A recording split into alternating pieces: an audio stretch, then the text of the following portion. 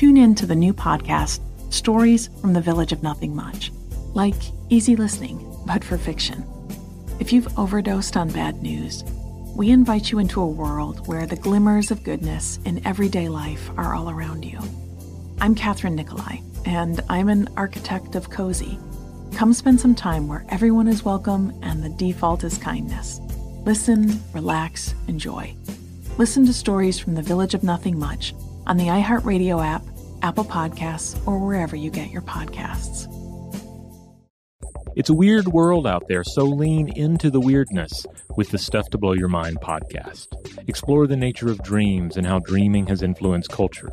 Appreciate the deep strangeness of terrestrial biology, as well as purely imagined creatures that reveal much about human nature. Explore topics scientific, historical, philosophical, and sometimes monstrous on Stuff to Blow Your Mind.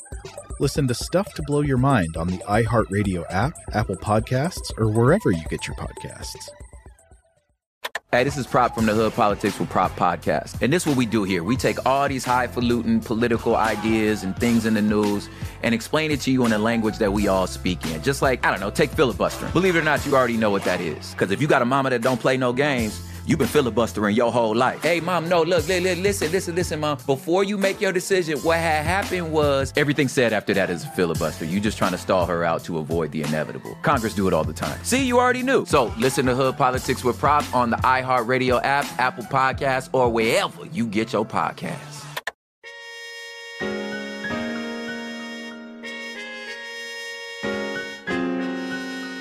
It's the evening of Friday, November 22nd, 1963. Earlier that day in Dallas, President Kennedy had been shot. After the doctors at Parkland Hospital feverishly tried to save his life, at approximately 1 p.m., he was officially pronounced dead. The president's body was then loaded onto Air Force One, flown to Washington, and taken to Bethesda Naval Medical Center where a team of pathologists began not just the most important autopsy of their careers, but the most important autopsy in American history. 36 hours later, pathologists Dr. J. Thornton Boswell and Dr. James Humes concluded their work. Dr. Humes finished the autopsy report at home. Now, he fully understands the importance of this report. It'll be a central piece of the official record that describes how the president was killed. It will be part of history, and it has to be precise. But here's what he tells the Warren Commission the following year. Now, Soledad, could you read this? It's Dr. Humes describing what he did that evening. Dr. Humes says, quote, in the privacy of my own home. Early in the morning of Sunday, November 24th, I made a draft of this report, which I later revised, and of which this represents the revision. That draft I personally burned in the fireplace of my recreation room. Okay, could could you repeat that last sentence? That draft I personally burned in the fireplace of my recreation room. So he's admitting to the Warren Commission that he burned the original draft of the report, then made a revised draft. And once the revelation that Humes had burned the original copy of the autopsy, he had to continue to defend himself. In 1992, Dr. Humes told the New York Times that the original copy was stained with blood, and he didn't want it to become a, quote, ghoulish collector's item. He insisted that the second report was copied verbatim, word for word from the draft he burned. If it was only about accepting the lame excuse of preserving the president's dignity, we might buy it. But burning the autopsy report wasn't the only thing about the forensic investigation that was suspicious, starting with the two so called forensic pathologists that were in charge. Humes and Boswell were not forensic pathologists.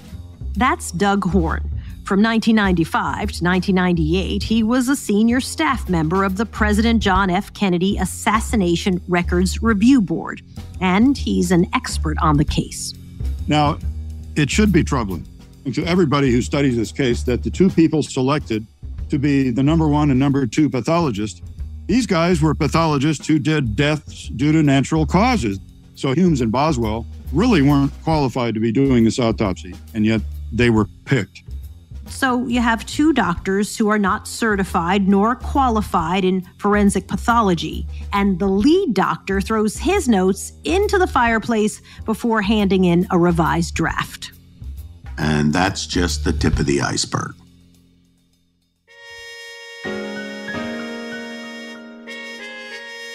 This is Who Killed JFK. 60 years later, what can we uncover about the greatest murder mystery in American history? And why does it still matter today? I'm your host, Soledad O'Brien. In the last episode, we learned that it was the intent of the Warren Commission to prove that Lee Harvey Oswald was the lone assassin of President Kennedy. Allen Dulles, the godfather of the CIA, was placed on the commission to make sure that any damning information about the CIA was kept hidden. J. Edgar Hoover ignored evidence that might implicate anyone other than Oswald. Then, in 1976, after learning that the Warren Commission had been compromised, the House Select Committee on Assassinations launched a new investigation. And though they were able to expose more than the Warren Commission had, they too learned afterwards that their efforts had been compromised because the liaison to the CIA that they were given was a man named George Joanides. He was a retired CIA agent who oversaw the special ops program that had recruited Lee Harvey Oswald. And Joanides made sure that the new committee never knew about that. And although the House investigation concluded that Kennedy was killed as a result of a conspiracy, they came to no conclusion as to who took part in it. The result two flawed government investigations with two completely different conclusions. So, where does it leave us? Well, first let's look at the forensics how the victim died. After that, we'll take a look at the man who they claim did it. We'll dive into Oswald's world. We'll find out who he really was, who he may have been working for, how he was set up, and who could have pulled this off. Then we'll have it all unfold again, from the days leading up to the assassination to the moment that Jack Ruby silenced Oswald.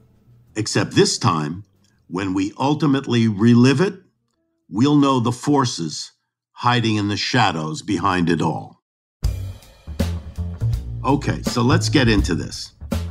In any murder case, the forensic evidence is critical. It paints the picture of how the victim died. And in this case, to prove a single gunman, the forensic evidence should be straightforward. But trust me, it's far from that. The bullets, the gun, the photographs, the doctor's firsthand reports are all heavily disputed. And in this episode, we're going to go through all of that. As I said, like any other murder, you need to understand the forensic evidence. Forensic evidence it mattered because it was essential in determining the site from which the shot was fired. That's the key to the case. That's Dr. Cyril Wecht, renowned forensic pathologist. The Warren Commission report saying that Lee Harvey Oswald was the sole assassin, the sole shooter, and that he fired from behind uh, from the sixth floor window of the Texas School Book Depository building, and that there were no other shooters. That's the essence of the case. Because once you show two shooters, then you've got, of course, a conspiracy. So let's take a look. According to the Warren report, Oswald fired three shots. How did they arrive at that number? It was based on two initial pieces of evidence. One was the Dallas police report, and the second was the Zapruder film. Remember, the Dallas dressmaker, Abraham Zapruder, got the whole thing on camera. The Zapruder film has no sound, so you, you can't hear the shots but you can see the president being hit twice. And you can also see Governor Connally sitting in the passenger seat in front of Kennedy also getting hit. The Zapruder film clearly shows three hits. So the Warren Commission established three shots. Unfortunately for them, there was a bystander named James Tague. That's Dr. David Mantik. Dr. Mantik has made nine visits to the National Archives, where the president's x rays, autopsy photos, and other critical evidence sits available for select members of the public to review. You could try to get an appointment to see them, or you could read any of the three books Dr. Mantik has written about them. According to Dr. Mantik, this bystander was about to create a huge problem for the Warren Commission. James Tague was standing under the overpass to the left front of the limousine, who was hit by some debris. It might have been a piece of concrete.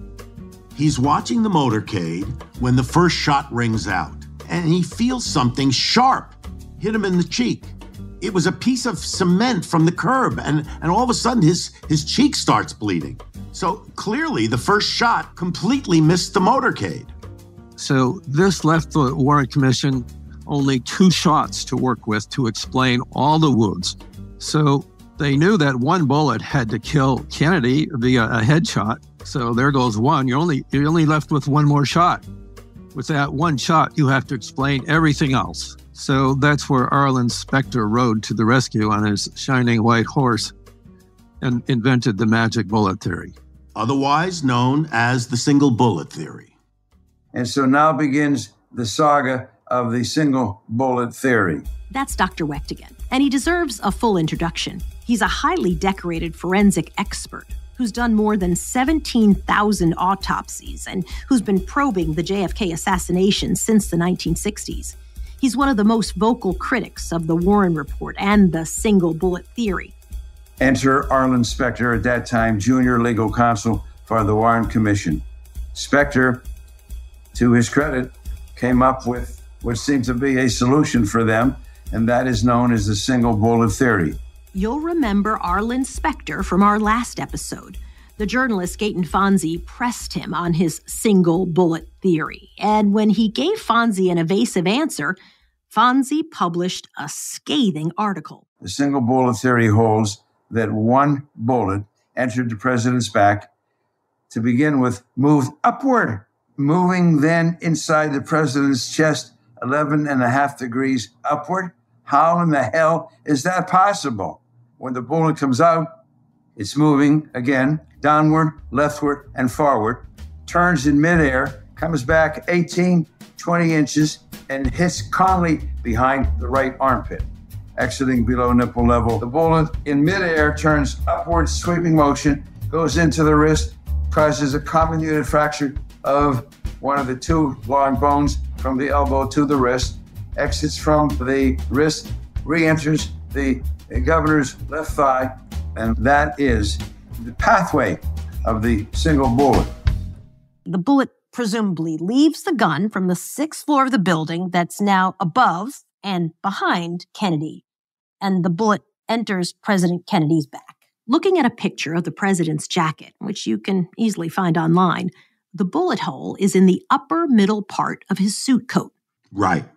Then it supposedly turns upward and comes out of his throat. Well, my colleagues or others who try to defend that single bullet theory, they say, well, what if the president were bent over tying his shoe? No, he wasn't doing that. He was looking at the crowd and cheering and waving. It's pretty clear when you watch the Zapruder film, he is not hunched over the president is poised upward toward the crowd. When Governor Connally testified to the Warren Commission, that's Dick Russell. He repeated multiple times that he was not hit by the same bullet that had hit JFK. As a matter of fact, if you look at the Zapruder film, you'll see that when Kennedy reacts to getting hit in the throat, Connally then turns around to see what happened. Then, moments later, he gets hit. There's no way that it can be the same bullet that hit Kennedy. The surgeons who operated on Governor Connally's wrist and chest wounds at Parkland also noted that they did not think all of his wounds had been made by the same bullet. It seems to me people are divided into two camps, right? There are people who believe the single bullet theory and people who think the single bullet theory is crazy. If you believe it, then you believe that one bullet caused all that damage. But it's not just about the path of the bullet. To fully consider the single bullet theory, you have to ask yourself two questions. The first question How did the bullet look when it was recovered? If God came to me and said, Wecht, I want you to get rid of every single piece of evidence, and I'll allow you to keep one thing, one thing only. That would be the bullet as it was recovered. And it is nearly perfect condition. You can see a picture of that bullet in the National Archives. It's listed as a Warren Commission Exhibit 399, a bullet that went in and out of both Kennedy and Connally, breaking Connally's bones, still looked pristine. Which brings us to the second question Where did they find the magic bullet? What happened later on was that a maintenance man, finding the ER corridor blocked by a stretcher, bent down to move the stretcher, and lo and behold, there was a bullet. The bullet, pristine. Nobody had seen this bullet. Missed by everybody at Dallas, missed by everybody at Parkland before then, and so on. That was the official story. This pristine bullet just appeared on a stretcher in Parkland, a mystery that has confused researchers for decades. Until in September 2023, there was a bombshell. A Secret Service agent named Paul Landis was on the running board of the car behind Kennedy. New bombshell claims tonight by one of the Secret Service agents who was closest to John F. Kennedy when he was assassinated. A new version of what might have happened to the magic bullet. Former Secret Service agent Paul Landis, who was with the president that day, is opening up for the first time about what he witnessed. That, according to the New York Times, could, quote, change the understanding of what happened in Dallas in 1963. So, Rob, I saw this story in prime time on CNN, on NBC. It was in People magazine, it was in Vanity Fair, it was in the New York Times. They all covered it. Right. And, and Paul Landis was kind enough to talk with us. Paul, from where the president was sitting, how far behind were you? Probably 15, no more than 20 feet. Can you just describe what you saw at the moment that the president was hit? Shortly after the second shot, I heard the third shot. I saw the president's head uh, split wide open, a mist of blood and flesh and mm. green matter flew into the air. Oh. I ducked to avoid getting splattered. And at that point, we zoomed under the underpass and we were on our way to Parkland Memorial Hospital. I raced to the president's limousine. Mrs. Kennedy was sitting on left center of the rear seat. There was a pool of blood next to Mrs. Kennedy. And as soon as she stood up, uh, right behind where she had been sitting, there was a pristine bullet. I picked this bullet up. It, it was not disformed, other than it had recognized striations on it that it had been fired. I'm looking around. Everybody was concentrating on the president. I didn't know what to do right away, but I, uh, I was afraid this, this bullet was an important piece of evidence. And I didn't want it to get lost. So I slipped it in my pocket and we raced in with the gurney carrying the president's body. And we arrived at trauma room one. People were shoving, pushing, shouting. I happened to be pushed up right next to his feet. So I reached into my pocket, took it out, and placed it by the president's left shoe. So, what does this tell us? Unless the single bullet theorists are going to claim that the bullet, after going through Kennedy and Connally, was able to bounce back from where it allegedly exited Connally's body in the front seat and somehow wound up in the back seat, it can't be the same bullet. What Landis is telling us finally makes sense. First, it explains how a bullet got onto a gurney at Parkland. He put it there. And second, it explains why the bullet was in near pristine condition. It never broke any bones on its path through two people. This completely destroys the single bullet theory. There is no magic bullet, which means that there had to have been at least a fourth shot, which means there had to have been another shooter. And we know conclusively that Oswald could not have fired four shots in that time span. This points directly at a conspiracy. So then what's weird to me as a journalist is this new testimony. Like he never mentioned this when he was questioned 60 years ago? He was never questioned 60 years ago. Nobody ever asked. The Warren Commission never interviewed any of the other agents that were in the follow up car. Now let's talk about the number of shots fired. Remember, the Warren report said that three shots were fired. The Mannlicher Carcano, a non automatic carbine, which was the alleged murder weapon used by Oswald, was tested by top marksmen, and it was determined that it took 2.3 seconds from shot to shot without allowing time for re aiming and repositioning at a moving target. They determined that the first shot that hit Kennedy was followed by a second shot at 1.5 seconds. Well, how was that possible when it was determined that it took 2.3 seconds from shot to shot? As they say, do the math. The single bullet, the timing of the shots, we're just getting started.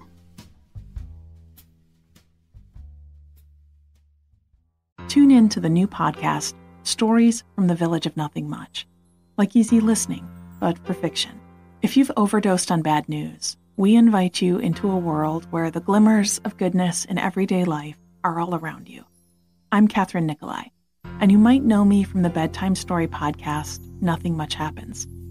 I'm an architect of cozy, and I invite you to come spend some time where everyone is welcome and kindness is the default. When you tune in, you'll hear stories about bakeries and walks in the woods, a favorite booth at the diner on a blustery autumn day, cats and dogs and rescued goats and donkeys, old houses, bookshops, beaches where kites fly, and pretty stones are found. I have so many stories to tell you, and they are all designed to help you feel good and feel connected to what is good in the world. Listen, relax, enjoy. Listen to stories from the Village of Nothing Much on the iHeartRadio app Apple Podcasts, or wherever you get your podcasts. What up, y'all? This is Prop. I host a podcast called Hood Politics with Prop. I am a firm believer that if you grew up in some sort of struggle or inner city in America, you understand politics more than you think you do. It's just not been translated in the language that you speak. I am here to translate it for you. For example, you know what a filibuster is? Yeah, you do. Because if you got a mama that don't play no games, you've been filibustering your whole life. Hey, mom, no, look, listen, listen, listen, mom before you make your decision, what had happened was when I came home, you know, I was with Joe. You remember Joe from church, his mama in the prayer group with you. You remember Joe. So I, I came, I took the chicken out, like you said. I remember I took the because you said take the chicken out. I had, do you remember I, I got an A on that on that math test? You remember when I got that A? So I was gonna take that out and then work on you filibustering. You're just trying to stop her from making an immediate decision. That's all filibustering is. And the Congress do it all the time. See what I'm saying? You already know this stuff. So we take these seemingly complex, high ideas and break them down in a way that you and me actually talk. So listen to Hood Politics with Prop on the iHeartRadio app, Apple Podcasts, or wherever you get your podcasts.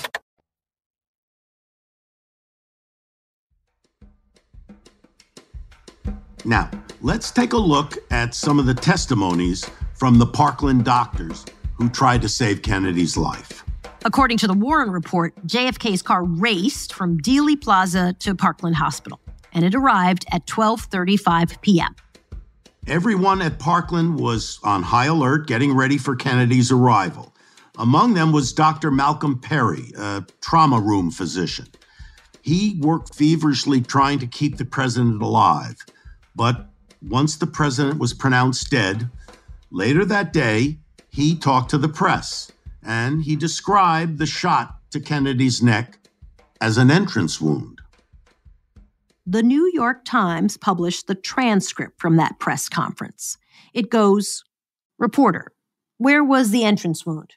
Dr. Perry, there was an entrance wound in the neck. Reporter, which way was the bullet coming on the neck wound? Madam, Dr. Perry, it appeared to be coming at him. Reporter, you think from the front in the throat.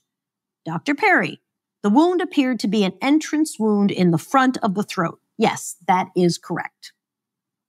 Well, so that's pretty clear. Yeah, one would think. But uh, it's not the way Dr. Perry's story ends. According to information we have just received from a recently discovered notebook kept by Martin Steadman, we've learned a little more about this story about Dr. Perry. That's Dr. Mantik again, now talking about the journalist Martin Steadman. Steadman covered this story for decades. A week after the assassination, Steadman and a few colleagues went to visit Dr. Perry at his home in Dallas. And they asked him, Well, Dr. Perry, what do you really believe? Do you think this was an entry wound? And he said, Absolutely, it was an entry wound. And he told them what had happened the night of the autopsy and the morning after. He said he had gotten several calls from the autopsy room, from the autopsy doctors, who told him that if he didn't change his mind about the entry wound, he was probably going to lose his medical license. And so the journalist finished up by asking him, Well, Dr. Perry, after all of this, what do you really think? He said, It was an entry wound. So he says, again, it's an entry wound. After a long, long paragraph of assumptions, he finally admitted to the Warren Commission that it could have been a shot from the rear. But this is the guy who repeated three times that the bullet entered from the front of the throat. Right. Why would he change his mind? In the 1970s, That's Dick Russell. a Dallas Secret Service agent named Elmer Moore confessed that he, quote, had badgered Dr. Perry into making a flat statement that there was no entrance wound in the neck. He said he was operating under orders from Washington and the Secret Service. He said he regretted it, but that, quote, we all did everything we were told or we'd get our heads cut off. Perry wasn't the only one that day who said that the shots that hit Kennedy were fired from the front. Statements from 21 witnesses at Parkland Hospital that day reported seeing a massive head wound in the back of Kennedy's skull. The doctors at Parkland described a big wound that reached into the posterior part of the skull on the right side. The journalist Connie Kritzberg interviewed some of those doctors at Parkland in the immediate aftermath of that day. She got testimony from one of the neurosurgeons, Dr. Kemp Clark, who also said that there was a huge wound in the right rear of the president's head. And then there's Dr. McClelland, one of the surgeons that worked to save the president's life that day. Dr. McClelland testified to the Warren Commission that part of the cerebellum was blasted away. There was a big hole in the back of his head. That's Dr. Mantik again. It was the size of an orange, at least, if not even a little larger. And dozens, literally dozens of witnesses have said the same thing. So the shot that killed the president came from the front. It's totally consistent with the big hole in the back of the head.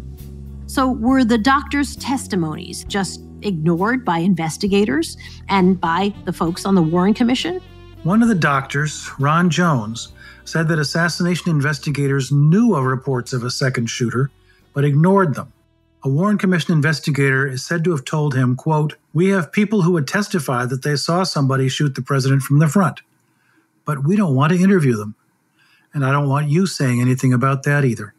And who was that investigator? Who? Arlen Specter. The creator of the single bullet theory. The same. Now let's dig deeper into what happened during the autopsy at the Bethesda Naval Hospital. The Dallas doctors were unanimous, if you study their treatment notes, that they wrote the day of the president's death. That's Doug Horne. It's that the president had a big blowout in the right rear of his head, behind his ear, the right rear portion of the head. Well, the problem is that the autopsy photographs show the back of the head to be intact.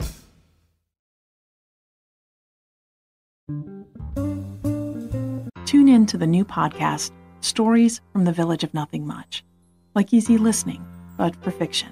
If you've overdosed on bad news, we invite you into a world where the glimmers of goodness in everyday life are all around you. I'm Kathryn Nikolai, and you might know me from the bedtime story podcast, Nothing Much Happens. I'm an architect of cozy, and I invite you to come spend some time where everyone is welcome and kindness is the default. When you tune in, you'll hear stories about bakeries and walks in the woods, a favorite booth at the diner on a blustery autumn day, cats and dogs and rescued goats and donkeys, old houses, bookshops, beaches where kites fly, and pretty stones are found. I have so many stories to tell you, and they are all designed to help you feel good and feel connected to what is good in the world. Listen, relax, enjoy. Listen to stories from the Village of Nothing Much on the iHeartRadio app Apple Podcasts, or wherever you get your podcasts. What up, y'all? This is Prop. I host a podcast called Hood Politics with Prop. I am a firm believer that if you grew up in some sort of struggle or inner city in America, you understand politics more than you think you do. It's just not been translated in the language that you speak. I am here to translate it for you. For example, you know what a filibuster is? Yeah, you do. Because if you got a mama that don't play no games, you've been filibustering your whole life. Hey, mom, no, look, listen, listen, listen, mom before you make your decision, what had happened was when I came home, you know, I was with Joe. You remember Joe from church, his mama in the prayer group with you. You remember Joe. So I, I came, I took the chicken out, like you said. I remember I took the because you said take the chicken out. I had, do you remember I, I got an A on that on that math test? You remember when I got that A? So I was gonna take that out and then work on you filibustering. You're just trying to stop her from making an immediate decision. That's all filibustering is. And the Congress do it all the time. See what I'm saying? You already know this stuff. So we take these seemingly complex, high ideas and break them down in a way that you and me actually talk. So listen to Hood Politics with Prop on the iHeartRadio app, Apple Podcasts, or wherever you get your podcasts. So, Dr. Horne, if the autopsy photographs in the archives don't show a gaping wound in the back of his head, what do they show? The autopsy photographs show the back of the head to be intact. But that's contradicted by the treatment notes of the Parkland doctors and by their testimony in 1964. So the government had a problem.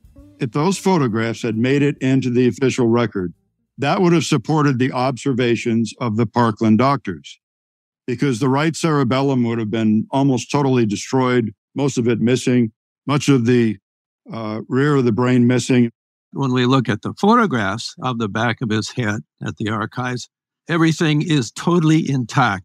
That's Dr. Mantik again. It looks like the hair has just been freshly washed with hardly any blood anywhere. And yet the shirt is totally soaked with blood. H- how is that possible? A woman named Saundra K. Spencer processed the photos that were taken of the president's head during the autopsy. In November 1963, she was a petty officer in charge of the White House laboratory at NPC, the Naval Photographic Center. Here she is being interviewed by the ARRB in the 1990s you tell me whether those photographs The questioner says, Can you tell me whether those photographs correspond with the photographs you developed in November of 1963? No. She says, No. Let's start with a conjecture as to whether the photographs that you developed in the photographs. The questioner says, Let's start with the conjecture as to whether the photographs that you developed and the photographs that you observe today could have been taken at different times. I would definitely say they were taken at different times. She says, I would definitely say they were taken at different times. Of course, the actual authentic autopsy photographs did show a big hole in the back of the head. And we have several witnesses at the autopsy who, who saw those photographs, and their testimonies in the record today. To be clear, what you're saying is that the photos that Saundra K. Spencer developed are not the ones that are in the National Archives.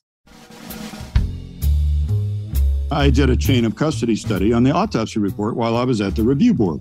And so the first thing I discovered is that Dr. Humes had two sets of conclusions. That's what makes it all the more remarkable that he burned his first copy. Sometime after the FBI agents left, Humes made this new pronouncement because somebody had called Dr. Perry at Parkland Hospital.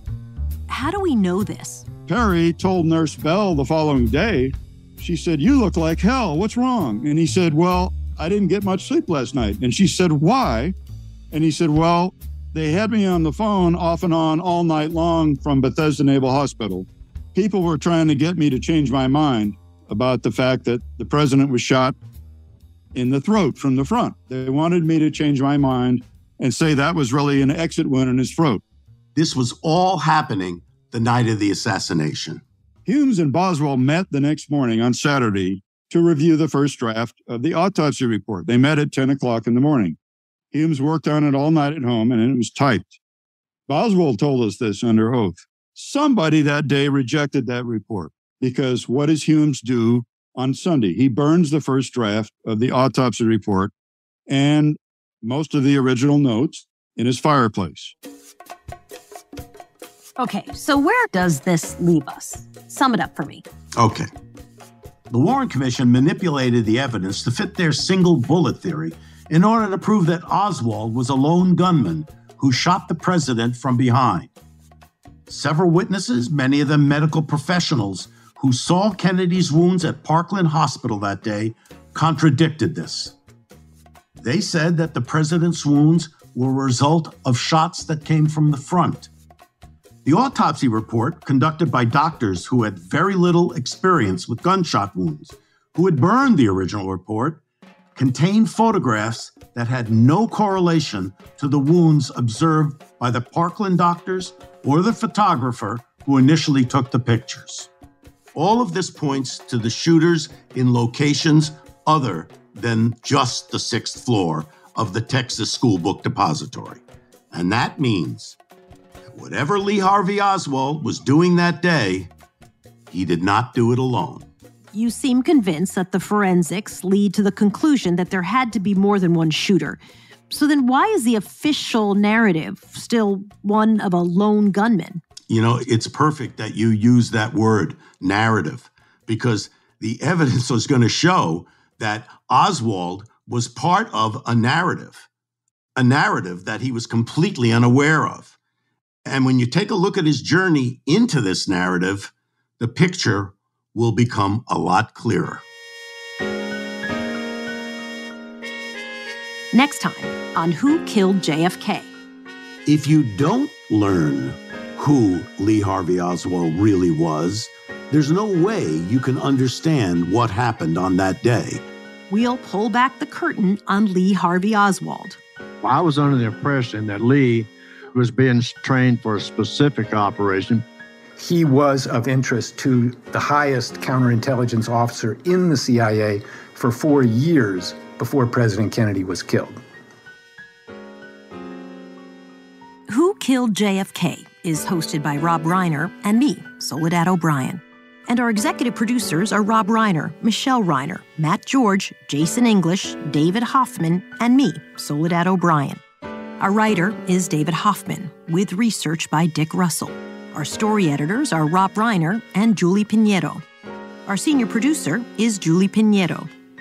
Our producers are Tristan Nash, Dick Russell, Michelle Goldfine, and Amari Lee. Our editors are Tristan Nash, Julie Pinheiro, and Marcus DeLauro. Our project manager is Carol Klein. Our associate producer is Emilce Quiros. Mixing, mastering, and sound design by Ben Lahoulier. And archival audio in this episode thanks to the Sixth Floor Museum and Dick Russell. Research and fact checking by Girl Friday and Emilce Quiros. Business Affairs by Hernan Narea and Jonathan Furman. Our consulting producer is Roseanne Galiini. Recorded in part at CDM Studio and 4th Street Recording Studio. Show logo by Lucy Quintanilla. Production assistance by Rocco Del Prior and Grace Barron. Special thanks to Joe Honig, Rose Arce, and Dan Storper. If you're enjoying the show, leave us a rating and review on your favorite podcast platform. Who Killed JFK is a production of Soledad O'Brien Productions and iHeart Podcasts.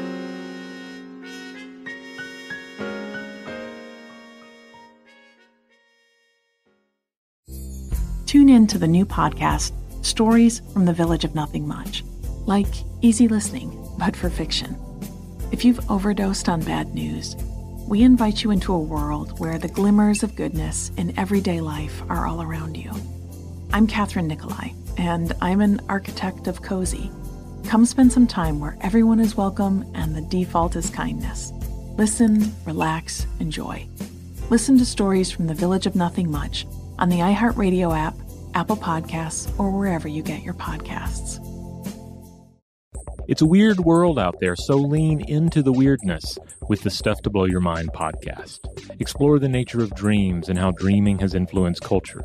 Appreciate the deep strangeness of terrestrial biology, as well as purely imagined creatures that reveal much about human nature. Explore topics scientific, historical, philosophical, and sometimes monstrous on Stuff to Blow Your Mind.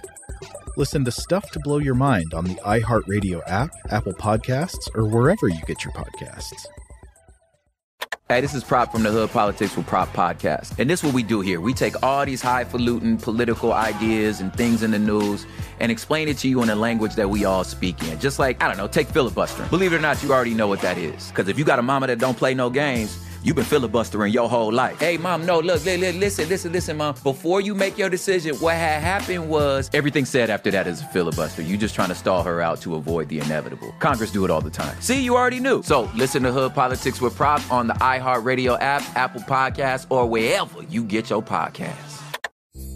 Tune in to the new podcast, Stories from the Village of Nothing Much, like easy listening, but for fiction. If you've overdosed on bad news, we invite you into a world where the glimmers of goodness in everyday life are all around you.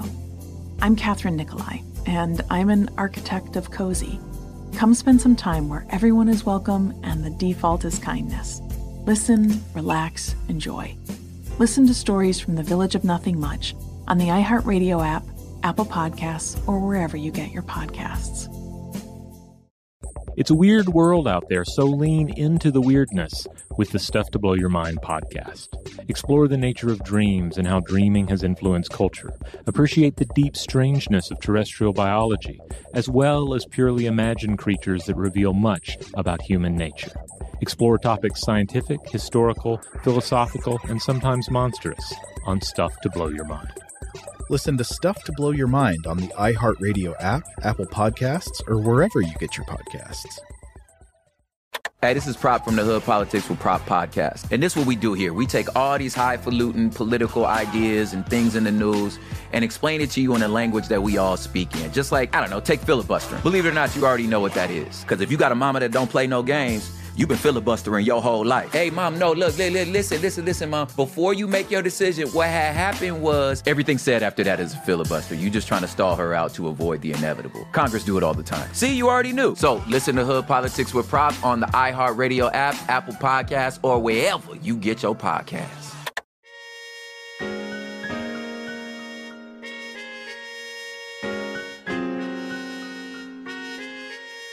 In 1974, just months after the Watergate scandal ended with Richard Nixon's resignation, another man who, for decades, had also helped shape America's place in the world was quietly dismissed from his job. William Colby, who was then the head of the CIA, fired spy master James Jesus Angleton. Colby made the decision after a front page expose in the New York Times revealed that Angleton was running a massive domestic spying program. The CIA was spying on 10,000 Americans involved in the anti war movement and other dissident groups. Colby had been trying to get rid of Angleton for years, but Angleton was a bit of a legend. He was the head of counterintelligence for the CIA, and for better or for worse, he was one of the agency's founding fathers. Journalists who were hoping to be the next Woodward and Bernstein were all over this story. They wanted to know why. The buzz around Angleton's firing prompted the formation of a special Senate committee headed up by Idaho Senator Frank Church. And for the first time in the CIA's history, their dirty laundry was about to be exposed. The Church Committee published its final report in April of 1976. It revealed a trove of secret abuses at the hands of the CIA, NSA, FBI, and the IRS. Before and after the Cold War, these agencies were involved in global assassination conspiracies, infiltrating news programs, and conducting mind control experiments through programs like MK Ultra. The committee's revelations shocked Americans. We'll get into all of that over the next few episodes, but for now, what's important to understand is that in the 1960s, James Jesus Angleton had control over a network of spies, informants, and double agents that reached into the farthest corners of the globe. And the events that would be the cause of his dismissal we're just getting underway. This is Who Killed JFK. 60 years later, what can we uncover about the greatest murder mystery in American history? And why does it still matter today? I'm your host, Soledad O'Brien. Welcome to the counterintelligence world of James Jesus Angleton, a world he referred to as the wilderness of mirrors. The term wilderness of mirrors points to the tactic of deception and disinformation that both the CIA and the KGB used against each other during the Cold War. It's a world where it's virtually impossible to tell what is reality and what is merely a reflection of reality. And our journey into the wilderness starts with Lee Harvey Oswald. So let's recap. Oswald was a disenchanted young man who found himself in a psychological study run by a doctor with connections to the CIA. At age 17, he enlisted in the Marines and was shipped to Japan, where he received a security clearance to work as a radar operator on U 2 spy planes. Upon returning to the United States, he spent time at a base in California and another base in Nags Head, North Carolina, which focused on special operations. Then, after learning Russian, he defected to the Soviet Union. Two years later, he returned to the United States with his Russian wife and baby and was welcomed back with open arms. He was never questioned. Why? Well, Oswald didn't actually renounce his U.S. citizenship when he was in Russia, even though he tried at the embassy. So maybe they didn't take him all that seriously. Maybe they saw him and thought, eh, that guy, you know, he's all bark and no bite. There's this philosophical theory, I know you know, called Occam's razor, right? That says the simplest answer is often the correct one. So if you apply that here, what if he's just a communist sympathizer? What if he just defected? He just came back to the US and sort of slipped under the radar. It's possible, but don't forget, we are at the height of the Cold War. The fear of nuclear annihilation is hanging over our heads. Now, if you are willing to enter that wilderness of mirrors with me, by the time we exit, I think things will become clear. But I have to warn you, before things become clear, they will become confusing. And in fact, confusion is the point. So why don't we try to embrace the confusion and step into the wilderness of mirrors?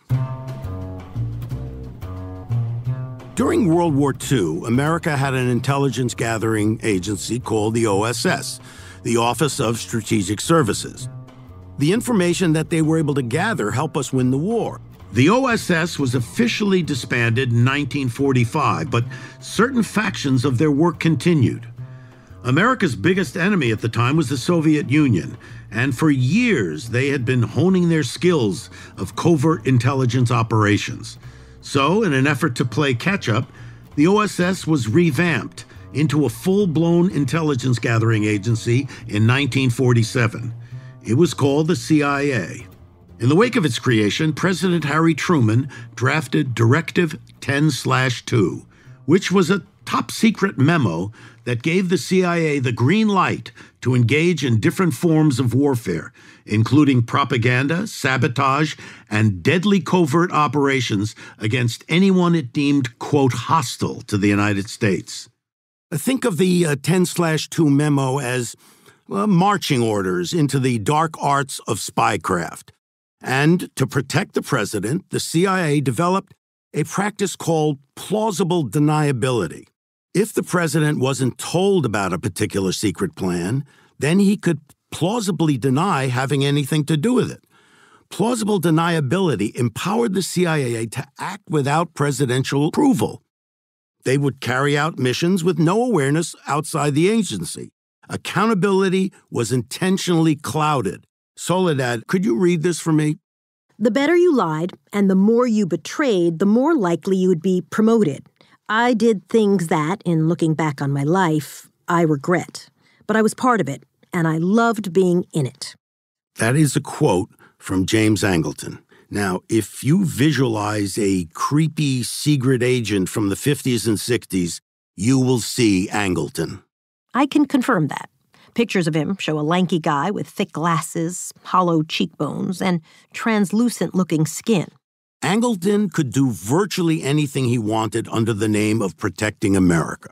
He was the chief of counterintelligence, so he was in charge of defending the CIA.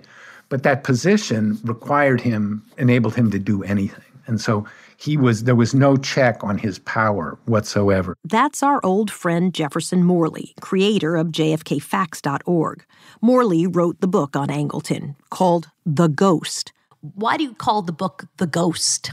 Because he was this invisible presence in the US government that nobody could see. I mean, I think President Kennedy knew who Jim Angleton was, but not many people in the US government knew what Angleton did. Describe him. He was very charismatic intellectually. He had been an English major at Yale with a literary bent. He was known as the poet spy. His friend, the poet E. E. Cummings, said the following about Angleton, quote, "What a miracle of momentous complexity is the poet." He was the spy as intellectual. He was a very creative thinker. People who knew him in his prime were very impressed and regarded him as, as, as really something of a genius. Counterintelligence has been described as organized paranoia. To catch spies, you have to be very suspicious of everybody. He referred to his work as the wilderness of mirrors, a phrase that he borrowed from T.S. Eliot. There was information, disinformation, secret agents, and double agents, anything to deceive the enemy, hide the CIA's tracks, and create confusion. Confusion was his weapon of choice. And that confusion came into play when Oswald returned to the United States. Oswald, his Soviet wife Marina, and their infant child June they land on the docks of Hoboken, New Jersey on June 13, 1962. There, they're met by a man named Spas Raikin. Raikin was a representative of the Travelers Aid Society. Now, I want you to take a look at this through the lens of James Angleton. Okay. Spas Raikin was not only a representative of the Travelers Aid Society, he was also an official of the anti Bolshevik nations a group with deep ties to U.S. intelligence, a fact that was totally ignored by the Warren Commission. Now, understand that the Travelers Aid Society wasn't there to, to massage Oswald's feet after his long trip. It was an anti communist organization that had direct ties to the CIA. Oh, so he's pretty much welcome back by the CIA. Right. And again, if you look at this through Angleton's eyes, Raikin is the perfect person to meet Oswald in order to make sure that his reentry into America goes smoothly. Raikin was somebody they could trust and couldn't be tied directly back to them. So Raikin helps the Oswalds get through customs and immigration, then sends them on their way to Fort Worth, Texas. In Fort Worth, Oswald meets a man named George de Mohrenschildt. Now, I'm guessing that name doesn't ring any bells. This is the first time you're hearing the name. George de Mohrenschildt. He's key when we consider the movements of Lee Harvey Oswald on his return to the United States. George de Mohrenschildt was a Russian speaker who worked for oil companies looking for petroleum all over the world. That's Jefferson Morley again. And so in 1962, he was living in Dallas and he heard of this man who had returned from the Soviet Union, Lee Harvey Oswald. So they become good friends. Don't you think it's odd that a wealthy, worldly, erudite, and much older man would become good friends with Lee Harvey Oswald? De Mohrenschildt told the journalist Edward Epstein, quote, Somebody gave me Lee's address, and one afternoon I drove to Fort Worth, about 30 miles from Dallas.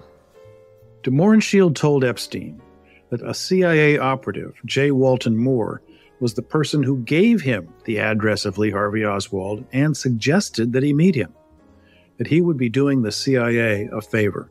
De Mohrenschildt told Epstein that J. Walton Moore asked him to find out about Oswald's time in the Soviet Union.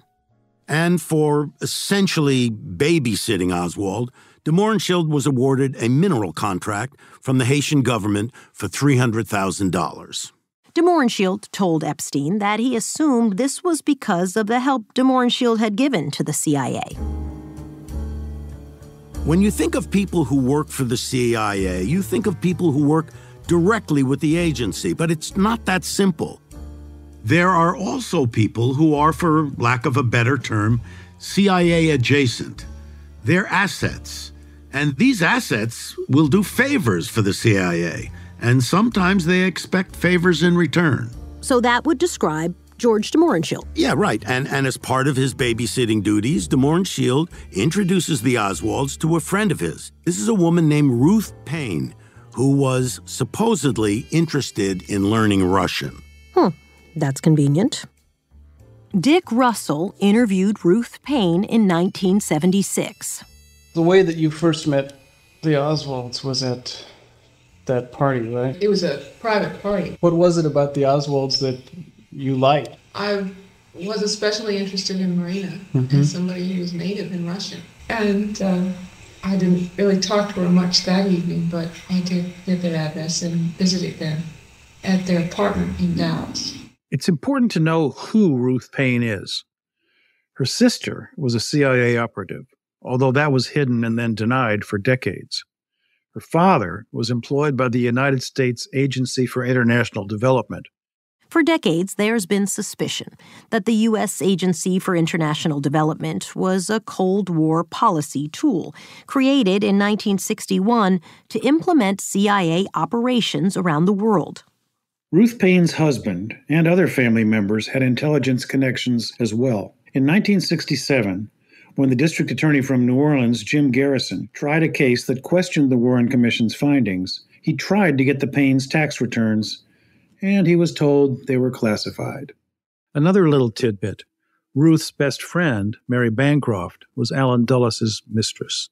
Because of her friendship with the Oswalds, Ruth Paine was a key witness for the Warren Commission. In her testimony, she was asked by Alan Dulles what she suspected Oswald's motive might have been. She said that she always felt that Oswald saw himself as a small person and that he wanted to be greater and to be noticed.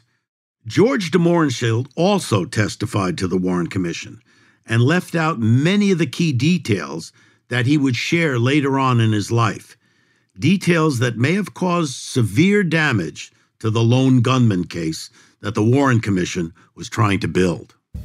And during the time of his testimony, an eyewitness saw de Mohrenschildt having private lunches with Alan Dulles. It's like Alan Dulles is everywhere. Yes.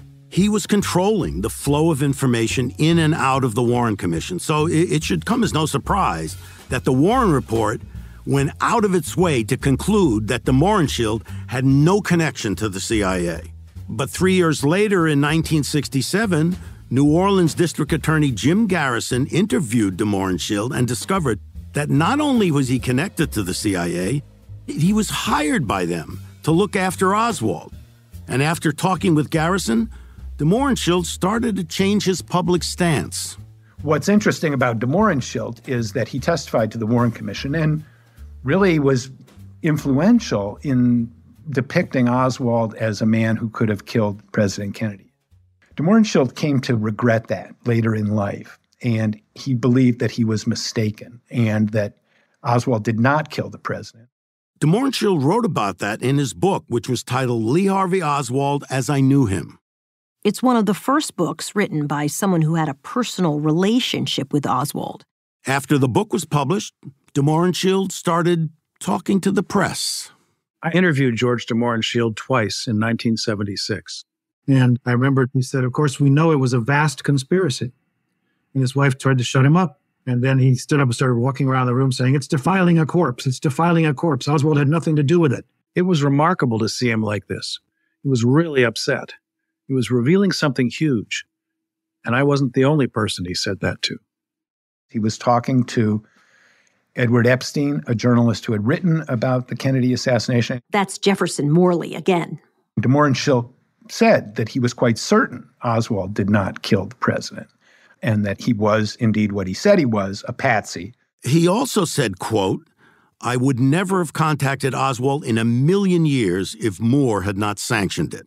That's J. Walton Moore, his CIA contact. Right. He said he wouldn't have reached out to befriend Oswald unless he was instructed to. Epstein's interview with de Mohrenschildt happened 14 years after Kennedy's assassination, and it was the final interview that de Mohrenschildt would ever give.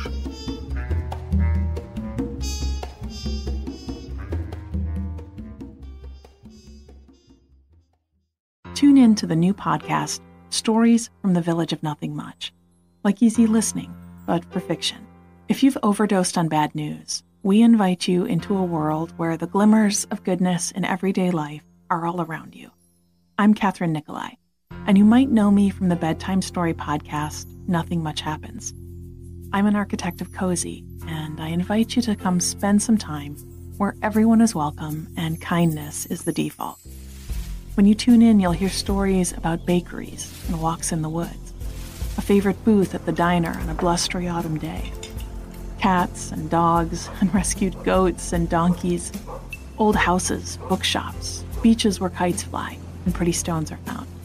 I have so many stories to tell you, and they are all designed to help you feel good and feel connected to what is good in the world. Listen, relax, enjoy. Listen to stories from the Village of Nothing Much on the iHeartRadio app, Apple Podcasts, or wherever you get your podcasts. The world is so much weirder than you think. If you want to find out why, join us on the science podcast, Stuff to Blow Your Mind. Want to hear about how horses evolved to gallop entirely on their middle fingers and why some drawings show Julius Caesar's horse with human feet? Or maybe about how some of the earliest experiments creating a vacuum in the lab were conducted by a guy who had the Batman symbol for a mustache. Fans of the show tell us they like the vibe. We try to keep things cozy, relaxed, and open minded, but driven by curiosity and grounded in a skeptical and scientific perspective. On Stuff to Blow Your Mind, you'll hear everything from the story of how a 19th century inventor created a sort of modified pipe organ that could speak English through a doll's head, to why mud dauber nests are stuffed like a filled pastry full of paralyzed spiders. Explore topics scientific, historical, philosophical, and sometimes monstrous on Stuff to Blow Your Mind. Listen to Stuff to Blow Your Mind on the iHeartRadio app, Apple Podcasts, or wherever you get your podcasts. What up, y'all? This is Prop. I host a podcast called Hood Politics with Prop. I am a firm believer that if you grew up in some sort of struggle or inner city in America, you understand politics more than you think you do. It's just not been translated in the language that you speak. I am here to translate it for you. For example, you know what a filibuster is? Yeah, you do. Because if you got a mama that don't play no games, you've been filibustering your whole life. Hey, mom, no, look, listen, listen, listen, mom before you make your decision, what had happened was when I came home, you know, I was with Joe. You remember Joe from church, his mama in the prayer group with you. You remember Joe. So I, I came, I took the chicken out, like you said. I remember I took the because you said take the chicken out.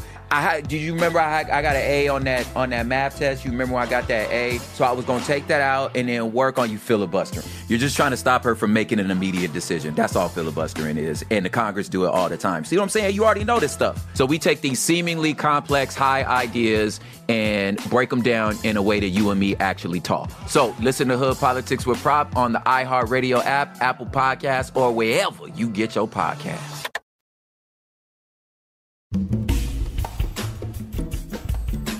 So let's set the stage because with all of these moving parts, it gets very confusing. Okay, so the first few months of 1963 are very tough for Oswald. So he returns from the Soviet Union. He gets a job, he loses a job, having trouble with his wife. And in April 1963, he leaves Dallas and he decides to go to New Orleans, where he had grown up. In New Orleans, he gets a job at a place called the Reily Coffee Company which is owned by William Reily, a supporter of CIA efforts against Castro. Documents show us that Reily had a relationship with the CIA for years. So we're seeing the same pattern, the same kind of thing we saw with de Mohrenschildt in Dallas. Oswald is secretly introduced to another CIA connected guy whose Reily Coffee Company is located right next to the local FBI, CIA, Naval Intelligence, and Secret Service offices and it's here in New Orleans where Oswald is about to get sheep dipped. Sheep dipped? What does that mean? Sheep dipped is a term of art in the intelligence world. That means coding someone to give them CIA operative status. It's a tactic of deception. It gives the appearance that a person is someone other than who he really is. So, how would that even work? By using assets of the agency to build a narrative around that person. You're carefully led into a new identity, and it's all documented. You yourself may not know where this new identity will lead, but when it's finished, you'll have the bona fides of someone to appear completely legitimate. And the plan for Oswald in New Orleans was to sheep dip him in order to make him look like he was a pro Castro communist. Couldn't he just be a pro Castro communist? If you think that, the poet spy has succeeded. The poet spy, if you'll remember, is James Jesus Angleton, head of CIA counterintelligence. And the wilderness of mirrors we're in, it's the world he created. We know Angleton's tactics employ CIA adjacent people, assets that have enough distance from the agency that they can deny knowing them, then send these people to look after someone the agency is interested in. Pick them up at the airport, help them get a job, to manipulate this person they're interested in without being traced back. To what end? Angleton was obsessed with Cuba. He wanted to take down Castro, and this was not in line with the president's agenda. After the Cuban Missile Crisis, if you remember, Kennedy realized taking a hard line against Cuba could lead to an all out nuclear war. So he started back channel communications with Khrushchev and Castro to find a path to peace. But Angleton didn't see that as an obstacle. He said, and I'm quoting here, it is inconceivable that a secret intelligence arm of the government has to comply with all the overt orders of the government. He thought it completely fair game that the CIA, the secret intelligence arm of the United States, could have their own set of rules and directives. So while Kennedy was trying to forge a path to peace, the CIA was conducting major anti Castro operations out of New Orleans and Miami. They sent boats to harass Cuban ships. They ran guns to exile groups. They even had training camps where they were helping the exiles prepare to mount another invasion. Bill Harvey, the CIA agent who had been demoted and sent to Rome after the Cuban Missile Crisis, played a big part in all of this. Bill Harvey created and led something called ZR Rifle. This was a CIA program designed to assassinate foreign leaders. It wouldn't be until the 1980s that we learned how the CIA had a hand in overthrowing governments in the 1950s and 60s, including Iran, Chile, the Dominican Republic, Guatemala, the Congo. This often included the assassination of the leader in charge. This is some of the dirty laundry we mentioned earlier. The CIA wanted to use that same force in an attempt to assassinate Fidel Castro, and Bill Harvey was at the head of it. To understand Harvey's stance toward Cuba, read a segment of this 17 page memo that he sent to Dick Helms, who was running covert operations for the CIA at the time. It goes, quote, the assurance of no invasion and no support of invasion will, in effect, constitute giving Castro and his regime a certain degree of sanctuary. His belief was that every day that passed that we didn't try to invade Cuba would make Castro grow stronger. Essentially, he's saying if you're not trying to kill him, you're emboldening him. And in many people's minds, the one emboldening him the most was President Kennedy. A declassified document reveals that Bill Harvey sent his memo to the head of the CIA in November 1962. Six months later, in May of 1963, Angleton published a 27 page paper of his own on the topic of Cuba. This was just about seven months before the assassination of President Kennedy, and within weeks of Oswald's decision to move to New Orleans. Angleton's paper was called Cuban Control and Action Capabilities. And it's important to understand who received this paper the Pentagon, the CIA, the NSA, the intelligence chiefs of the State Department, Army, Navy, and Air Force, and the Justice Department. And guess who didn't receive this paper? The President. Bingo. Angleton didn't send it to the White House, to his National Security Council, or to the president's brother, Attorney General Robert Kennedy. And there's one thing that becomes particularly interesting in hindsight. The Fair Play for Cuba Committee. The Fair Play for Cuba Committee. The Fair Play for Cuba Committee. If you're taking notes, put a big red circle around the Fair Play for Cuba Committee. The Fair Play for Cuba Committee was a real organization. They had chapters around the country with hundreds of members. Their goal was to provide grassroots support for Cuba in America. In Angleton's eyes, members of the Fair Play for Cuba Committee were pro Castro agents in the United States. This is exactly what Angleton spent his career trying to protect America against. And so, in order to better understand the organization and hopefully stop them, he needed information. And Oswald was about to be sent right into the thick of it. Tune in to the new podcast, Stories from the Village of Nothing Much, like easy listening, but for fiction. If you've overdosed on bad news, we invite you into a world where the glimmers of goodness in everyday life are all around you. I'm Kathryn Nicolai, and you might know me from the bedtime story podcast, Nothing Much Happens. I'm an architect of cozy, and I invite you to come spend some time where everyone is welcome and kindness is the default. When you tune in, you'll hear stories about bakeries and walks in the woods, a favorite booth at the diner on a blustery autumn day, cats and dogs and rescued goats and donkeys, old houses, bookshops, beaches where kites fly, and pretty stones are found. I have so many stories to tell you, and they are all designed to help you feel good and feel connected to what is good in the world. Listen, relax, enjoy. Listen to stories from the Village of Nothing Much on the iHeartRadio app, Apple Podcasts, or wherever you get your podcasts. The world is so much weirder than you think. If you want to find out why, join us on the science podcast, Stuff to Blow Your Mind.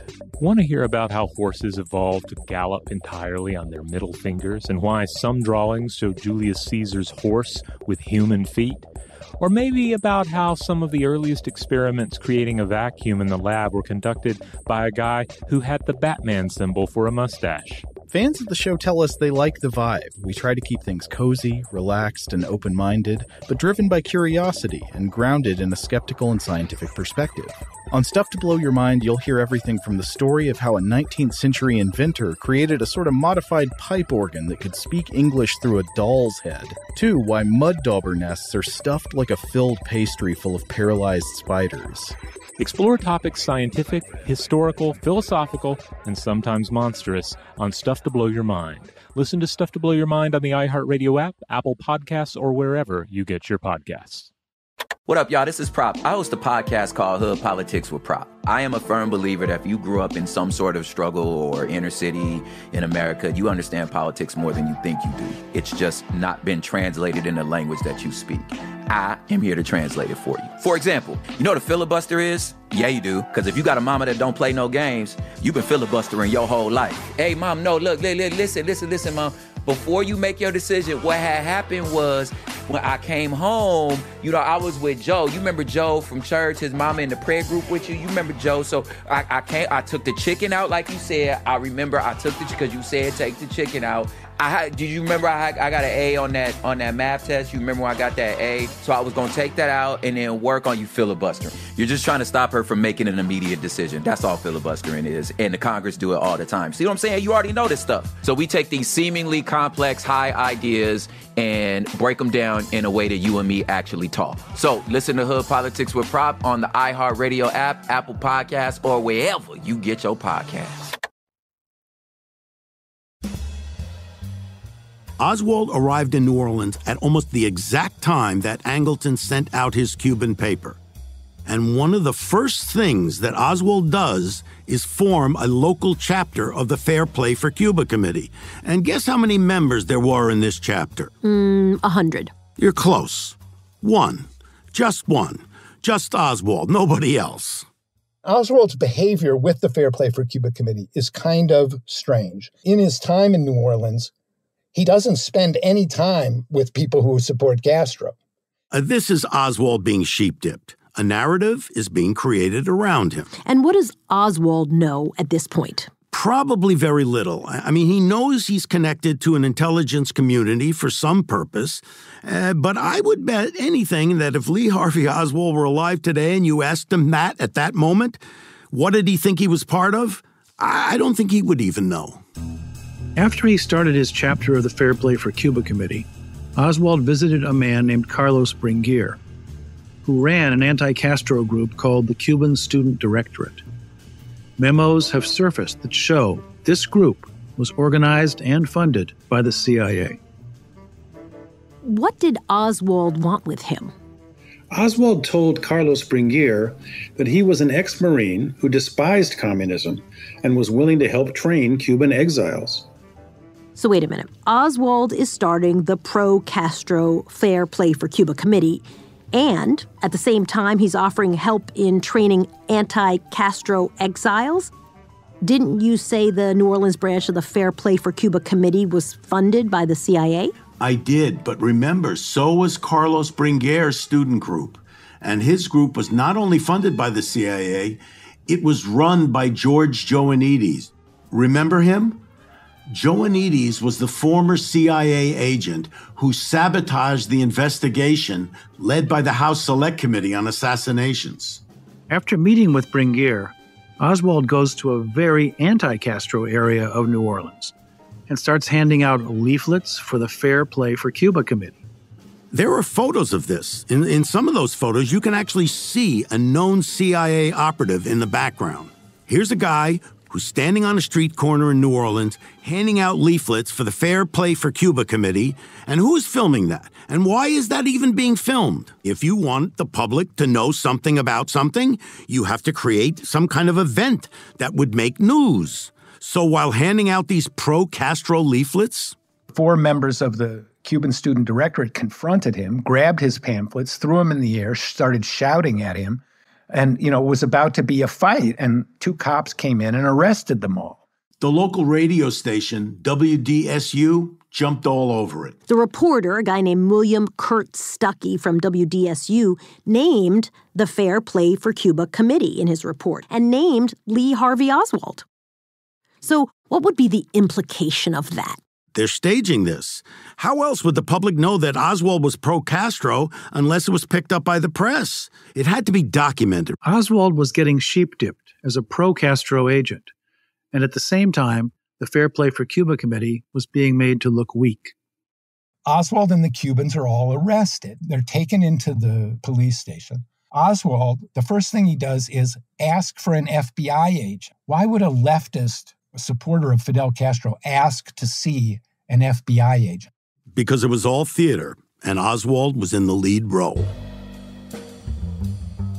To this day, the CIA denies their connection to Oswald. Despite everything we know, some of which we've covered so far in this series, they claim to have had very minimal awareness of Oswald and no direct connection. In June 2023, Peter Baker of the New York Times published a story revealing new details about the CIA and their relationship with Oswald. The story covered a CIA memo from June of 1962 that summarized the contents of a letter between Lee Harvey Oswald and his mother. This letter was intercepted and read by the CIA when it was originally sent. So, right there, we have another piece of documentation of the fact that the CIA was fully aware and tracking Lee Harvey Oswald. Now, apparently, the existence of this CIA memo wasn't news. Assassination researchers have known that this memo existed for decades.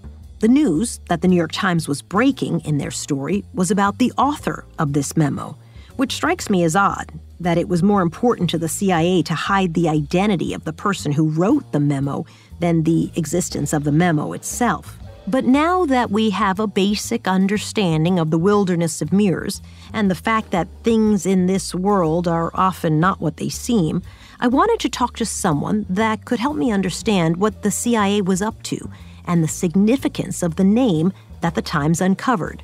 So we asked Jefferson Morley to join us once again. So, Jeff, who was the CIA agent who was reading Oswald's mail, and who was he sending these summaries to? Ruben Efron was a CIA analyst and translator. He's worked for the CIA for since 1955. He was in charge of reading the mail of people who were picked by James Angleton. So Angleton had a list of about 200 people whose mail he opened, copied, filed. And Oswald was one of those people, starting from the week he went to the Soviet Union in 1959. So it was known that Mr. Efron's role was to surveil the mail of people that Angleton had on this select list. What is it about this memo that stands out? The Times story showed that not only was the CIA reading Oswald's mail while he was in the Soviet Union. When Oswald comes home, Efron writes a memo which he sends to his boss, which says, Mrs. Egerter in CI SIG will be interested. CI SIG is the Counterintelligence Special Investigations Group.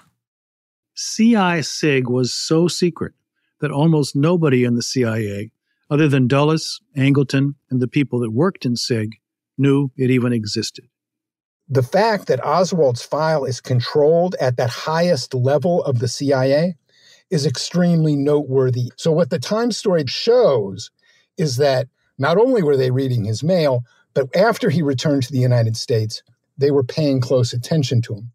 And the they would be the poet's spy.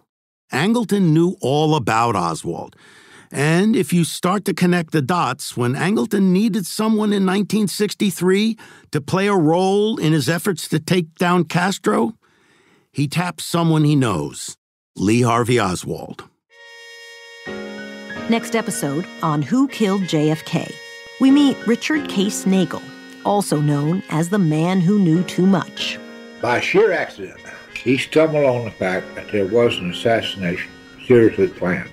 And then at his preliminary hearing, he says, Well, I'm glad you caught me. He says, uh, I really don't want to be in Dallas.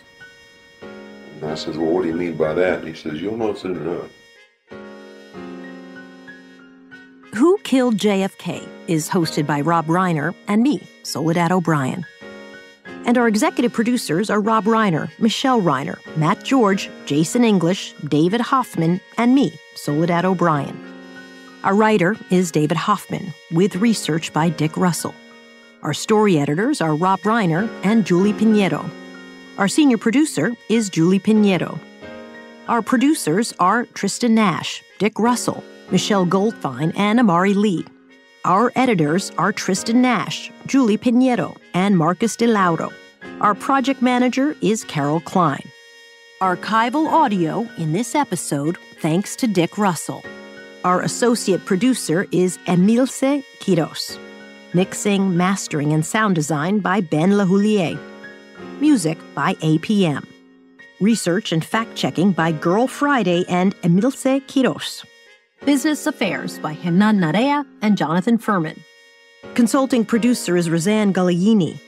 Recorded in part at CDM Studio and 4th Street Recording Studio. Show logo by Lucy Quintanilla. Production assistance by Rocco Del Prior and Grace Barron. Special thanks to Joe Honig, Rose Arce, and Dan Storper. If you're enjoying the show, leave us a rating and review on your favorite podcast platform. Who Killed JFK is a production of Soledad O'Brien Productions and iHeart Podcasts.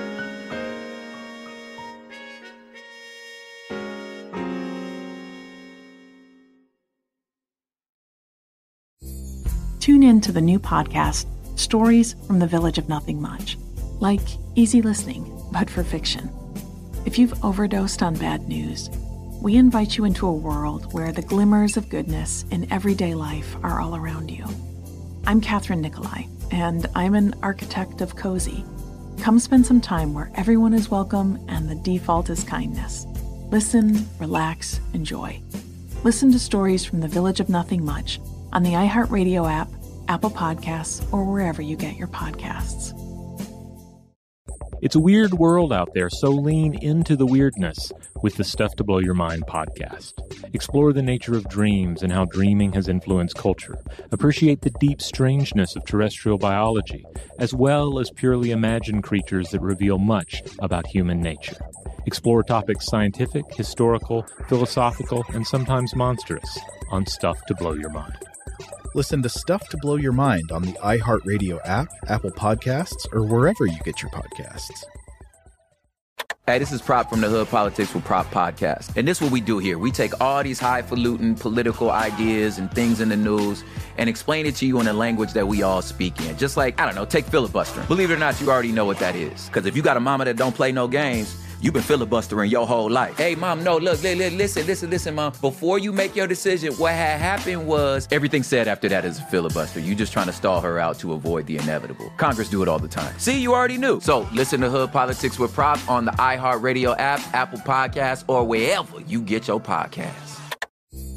Tune in to the new podcast, Stories from the Village of Nothing Much, like easy listening, but for fiction. If you've overdosed on bad news, we invite you into a world where the glimmers of goodness in everyday life are all around you. I'm Kathryn Nicolai, and I'm an architect of cozy. Come spend some time where everyone is welcome and the default is kindness. Listen, relax, enjoy. Listen to stories from the Village of Nothing Much on the iHeartRadio app, Apple Podcasts, or wherever you get your podcasts. Hey, this is Prop from the Hood Politics with Prop Podcast. And this is what we do here. We take all these highfalutin political ideas and things in the news and explain it to you in a language that we all speak in. Just like, I don't know, take filibustering. Believe it or not, you already know what that is. Because if you got a mama that don't play no games, You've been filibustering your whole life. Hey, mom, no, look, listen, listen, listen, mom. Before you make your decision, what had happened was everything said after that is a filibuster. You just trying to stall her out to avoid the inevitable. Congress do it all the time. See, you already knew. So listen to Hood Politics with Prop on the iHeartRadio app, Apple Podcasts, or wherever you get your podcasts. It's a weird world out there, so lean into the weirdness with the Stuff to Blow Your Mind podcast. Explore the nature of dreams and how dreaming has influenced culture. Appreciate the deep strangeness of terrestrial biology, as well as purely imagined creatures that reveal much about human nature. Explore topics scientific, historical, philosophical, and sometimes monstrous on Stuff to Blow Your Mind. Listen to Stuff to Blow Your Mind on the iHeartRadio app, Apple Podcasts, or wherever you get your podcasts.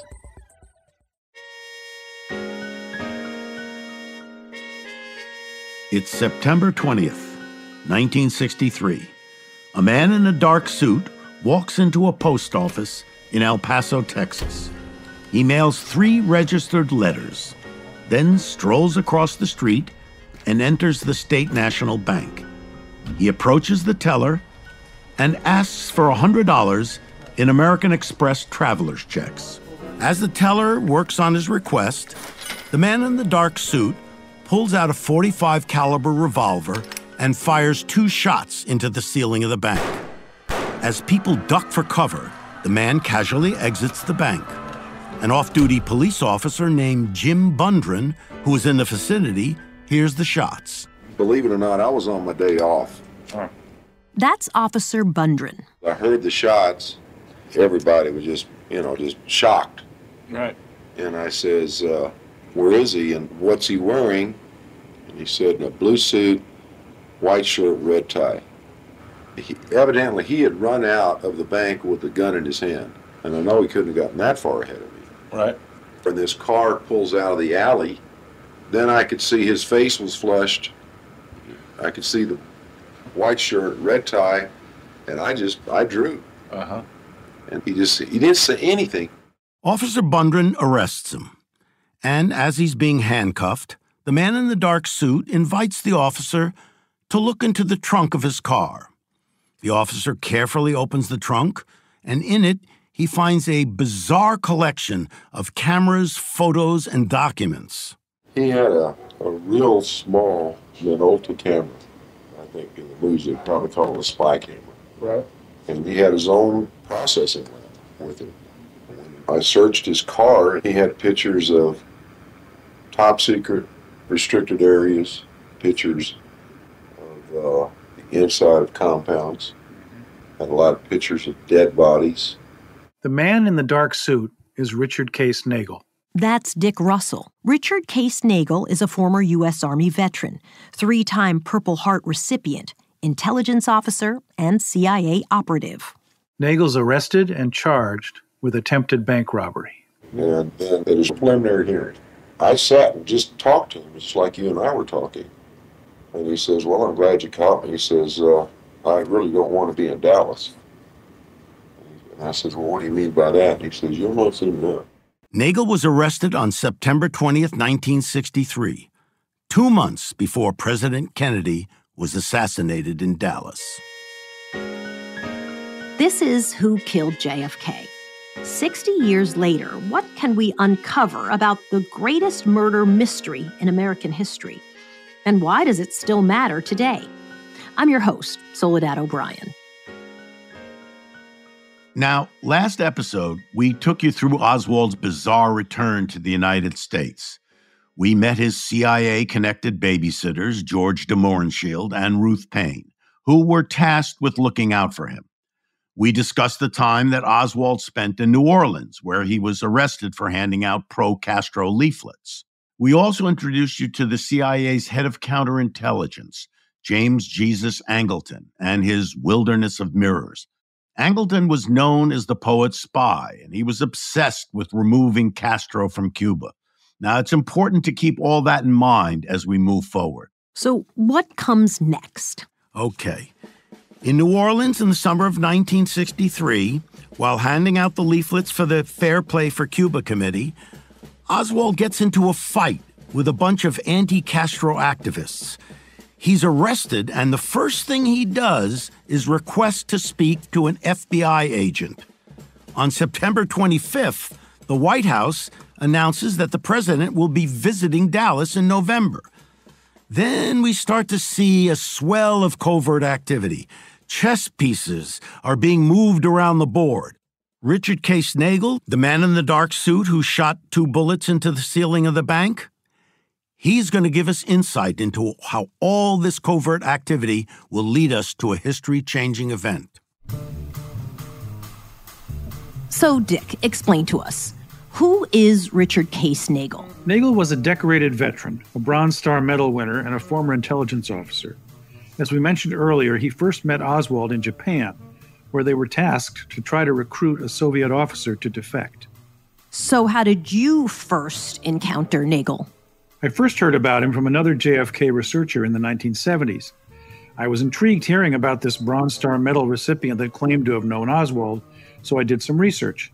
I went to El Paso, where he was arrested for the so called bank robbery. I went through the newspaper and court files there. There were both Secret Service and FBI files saying that he requested, quote, to speak to a Secret Service agent about an urgent matter the afternoon of the assassination. I knew I'd stumbled onto something, so I found out where he lived. I traveled to Manhattan Beach in Southern California, and I just knocked on the door. And this shadowy figure with a scar across his face opens the door and asks me what I wanted. I told him I'd come all the way from New York to interview him. After an uncomfortable silence, he let me in. And once we sat down, I asked if I could tape him. And he looked at me and said, uh, No, but I'm going to tape you. So he turned on his tape recorder and we started to talk. And he spoke cryptically, but it was about knowing Oswald and that he'd been involved in the assassination.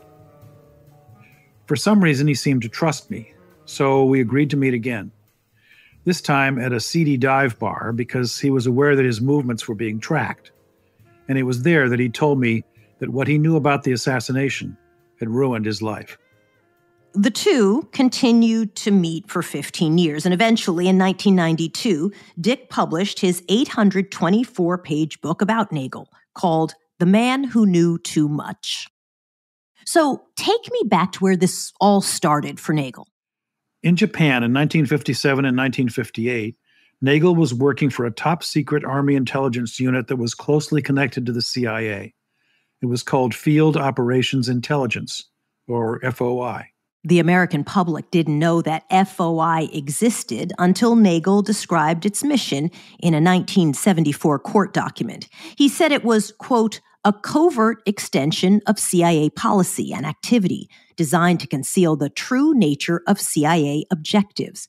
He then went on to say, quote, in the event I was apprehended, killed, or compromised during the performance of my illegal FOI duties, the Department of the Army would publicly disclaim any knowledge of or connection with such duties. In the early 60s, when Nagell came back to the United States, Cuba had become the focus of American intelligence. The CIA gave Nagell the assignment of renouncing his American citizenship and approaching Soviet intelligence to offer his services, much like they'd done with Oswald. And the Soviets then recruited him for their own intelligence gathering. So he became a double agent. Correct. The Soviets gave him two missions. One, penetrate a violent group of anti Castro Cuban exiles. And two, keep an eye on Lee Harvey Oswald, who had just returned to America. And were those two missions related? At first, there was no relationship between Oswald and that particular group of Cuban exiles. But in the summer of 1963, Nagell went to New Orleans, and that's where he was reconnected with Oswald. He learned that Oswald was being brought into plans that he didn't fully understand, and that plots to assassinate Kennedy were being discussed. Oswald was being primed to be the fall guy. But the Soviets, who had become fully aware of these plans, didn't want Kennedy killed, and they didn't want Oswald to be blamed. They knew it would be pinned on them or Cuba and could trigger a nuclear war. So, what did the Soviets want Nagell to do? They wanted him to take Oswald out. You mean to kill him? Yes. Tune in to the new podcast, Stories from the Village of Nothing Much, like easy listening, but for fiction. If you've overdosed on bad news, we invite you into a world where the glimmers of goodness in everyday life are all around you. I'm Kathryn Nicolai, and you might know me from the bedtime story podcast, Nothing Much Happens. I'm an architect of cozy, and I invite you to come spend some time where everyone is welcome and kindness is the default. When you tune in, you'll hear stories about bakeries and walks in the woods, a favorite booth at the diner on a blustery autumn day, cats and dogs and rescued goats and donkeys, old houses, bookshops, beaches where kites fly and pretty stones are found. I have so many stories to tell you, and they are all designed to help you feel good and feel connected to what is good in the world. Listen, relax, enjoy. Listen to stories from the Village of Nothing Much on the iHeartRadio app, Apple Podcasts, or wherever you get your podcasts. The world is so much weirder than you think. If you want to find out why, join us on the science podcast, Stuff to Blow Your Mind. Want to hear about how horses evolved to gallop entirely on their middle fingers and why some drawings show Julius Caesar's horse with human feet? Or maybe about how some of the earliest experiments creating a vacuum in the lab were conducted by a guy who had the Batman symbol for a mustache. Fans of the show tell us they like the vibe. We try to keep things cozy, relaxed, and open minded, but driven by curiosity and grounded in a skeptical and scientific perspective. On Stuff to Blow Your Mind, you'll hear everything from the story of how a 19th century inventor created a sort of modified pipe organ that could speak English through a doll's head, to why mud dauber nests are stuffed like a filled pastry full of paralyzed spiders. Explore topics scientific, historical, philosophical, and sometimes monstrous on Stuff to Blow Your Mind. Listen to Stuff to Blow Your Mind on the iHeartRadio app, Apple Podcasts, or wherever you get your podcasts. What up, y'all? This is Prop. I host a podcast called Hood Politics with Prop. I am a firm believer that if you grew up in some sort of struggle or inner city in America, you understand politics more than you think you do. It's just not been translated in the language that you speak.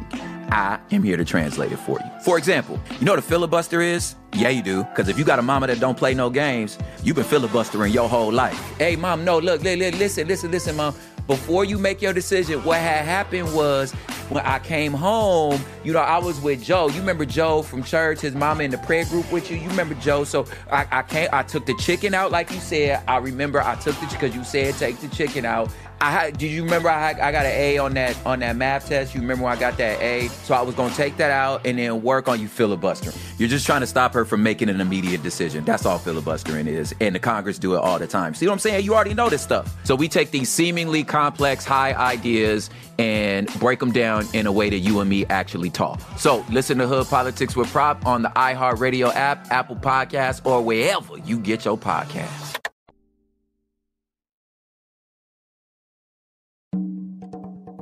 They wanted him to take Oswald out. You mean to kill him? Yes. Nagell was trapped. His loyalty was to the United States. He knew he couldn't do it. But he also knew that if he ignored the orders from the KGB, they would take him out. Talk about between a rock and a hard place. So, what does he do? First, he tried to warn Oswald that he was being used. So walk me through that. How did he warn him? He meets with Oswald in Jackson Square in New Orleans and tries to explain to him that the group of Cuban exiles he's been associated with are not who they say they are, and that he is being used by extreme fascist elements to attempt an assassination on Kennedy in order to justify invading Cuba. Nagell told me that when Oswald heard this, he was, quote, visibly shaken, but denied there had been any discussion about killing Kennedy and just shrugged him off. Nagell knew that when he couldn't convince Oswald, his life would be at risk. So he figured the safest place for him was to be in prison. He told me that just before shooting up the bank, he mailed a registered letter to J. Edgar Hoover detailing what he knew about the assassination plot and sent another warning letter to his handlers in the CIA. Then, to back up his story, he placed a notebook in his car that contained information that only someone on the inside would have had. Several of the notations were virtually identical to what the authorities later found among Oswald's possessions. They both had small Minolta spy cameras.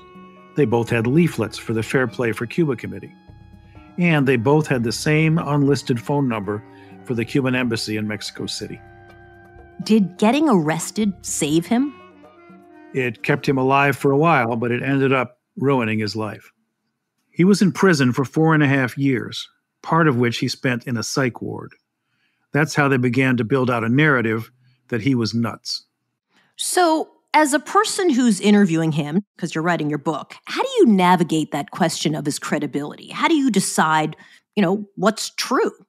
First, you assess the existing evidence, which means Nagell's notebook, the fact that he had an ID card for Oswald showing up in his lawyer's files, and the newspaper accounts of his trial in El Paso, where he tried to bring up Oswald and the assassination. Second, interview as many people as possible who knew him, and I found many who attested to his background and credibility. A couple of these, Jim Garrison and attorney Bernard Fensterwald Jr., told me Nagell was the most important living witness to what happened on November 22, 1963. And I realized that the powers behind the cover up were determined to marginalize him. First, paint him as crazy. Then, after he got out of prison, the CIA tracked his movements, and there were a number of attempts on his life. How long were you in contact with him? I met with him periodically for more than 20 years. And during that time, I saw a man who was torn. He wanted to come clean, to reveal what he knew. But he knew that if he told everything, he'd be killed. So he would drop hints to steer me in the right direction. Like Deep Throat in Watergate. Right. And at one point, he told me that if anything happened to him, there was a record of everything he knew that he kept stored in various locations and that only certain people were aware of. And he believed that's what kept him alive. So he did manage to stay alive. For a while. Then in 1995, when the Assassination Records Review Board was doing its investigation, they heard me talk about Nagell at a conference and decided that they wanted to interview him. On the day the subpoena arrived at his apartment, Nagell was found dead. So you believe that Nagell was killed before he could talk? Let me answer that this way. When I called his son to tell him about his father, his son told me that his apartment had just been broken into and was ransacked. Then he told me about his key his dad had left in his apartment to a storage unit in Tucson, and that in that storage unit was a purple trunk, which contained material his father had kept hidden for years. When he heard what had happened to his dad, Nagell's son flew to Tucson to check the storage unit. He opened it up looked inside, and the only thing missing was the purple trunk. So was Nagell killed before he could talk? Yeah, I believe he was. And he wasn't the only one. What happened to Nagell happened to others? Remember George de Mohrenschildt, Oswald's babysitter in Dallas? Yeah, you said the last time he talked about the assassination was in an interview he did with a journalist in 1977. What happened after that?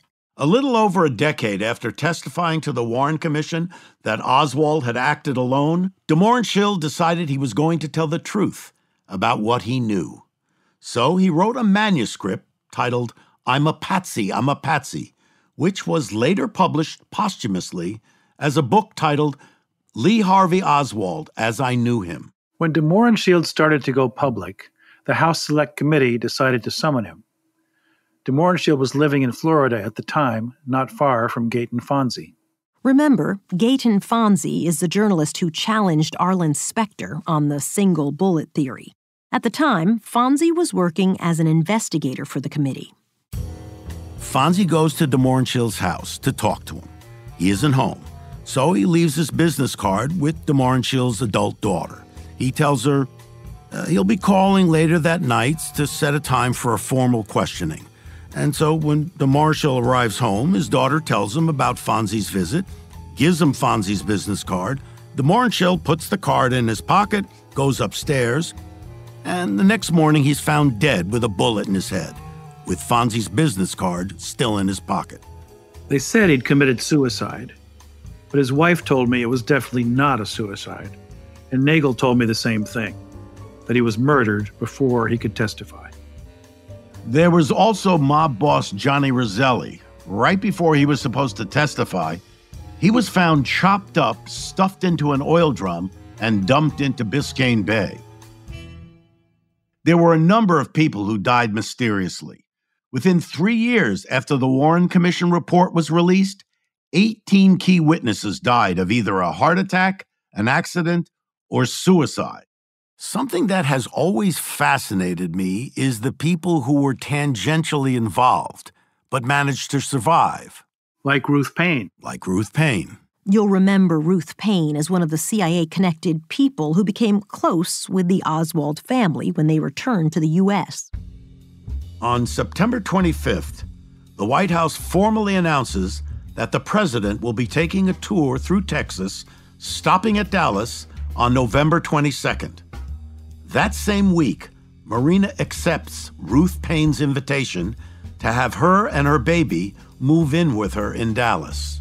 Then in early October, six weeks before the assassination, Oswald returns to Dallas, takes a room at a boarding house, and gets a job in a building positioned directly along what will be President Kennedy's motorcade route.